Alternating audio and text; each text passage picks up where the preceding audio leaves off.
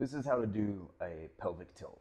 You just lie on your back, you bend your knees, and you just kind of like check in with what position your back is in. So like it probably will have like a little bit of space between your lower back and the floor.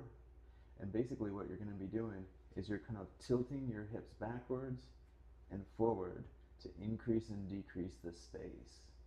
Now do this to a pain tolerance of like 2 out of 10. So like if it's like um, with 10 being the highest amount of pain, you never want to go above a 2. So just kind of check in with yourself, see what feels okay for you because you might do like a really small version of this and it feels okay, but then if you start doing more of them, it's going to feel weird.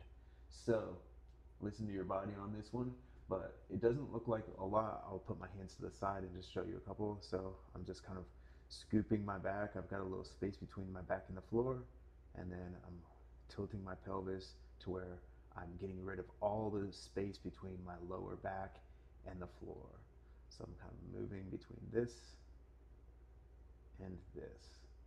Doesn't look like a lot. It might not even show up on camera, but that's the idea behind pelvic tilt. It's just teaching your pelvis how to be in different positions because those things matter with posture and everything.